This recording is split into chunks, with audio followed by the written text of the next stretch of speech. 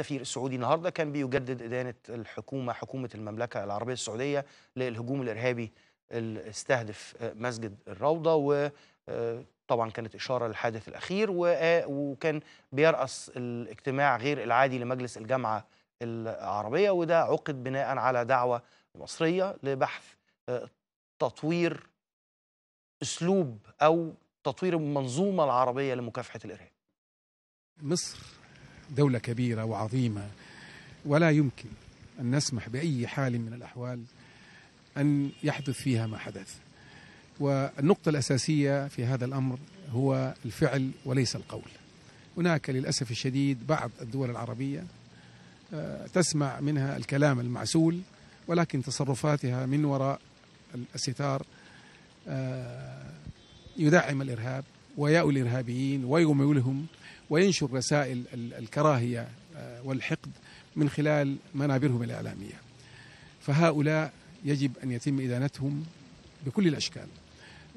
نحن في المملكة العربية السعودية أعربنا أكثر من مرة أن المملكة تدين أي عمل إرهابي تتعرض له أي دولة عربية. فما بالك بمصر؟ نستنكر هذا الفعل الآثم. يعني ليس من المعقول أو المقبول الإرهاب بشكل عام لكن أن يأتي في بيت من بيوت الله والناس يعني يسجدوا في الأرض طاعة لله ويتم تفجيرهم جميعا. فهذه الأمور يجب أن يعني تحارب بكل شدة. وأكدنا على أن تبادل المعلومات من أهم الأمور التي يجب يعني أن نقوم بها. والحرب ليست حرب عسكرية فقط حرب فكرية. لمحاربة هذا الفكر المتطرف والرسائل التي تبث إلى الشباب وإيهامهم بأنهم سيدخلون الجنة بمثل هذه الأفعال الدنيئة فالحمد لله أعتقد الجلسة اليوم كانت جلسة تاريخية وأنا كما سميتها اليوم اليوم يوم المحبة والتضامن مع مصر قيادة وحكومة وشعبا هذا الحضور المميز الحقيقة كان واضح للجميع مدى تأثرنا جميعا. بما حدث في في في سيناء وفي مسجد الروضة.